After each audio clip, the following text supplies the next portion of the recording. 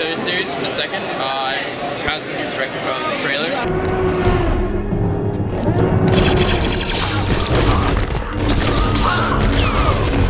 I am having a blast here.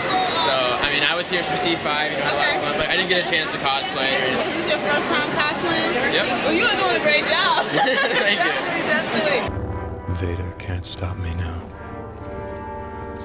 Nothing can.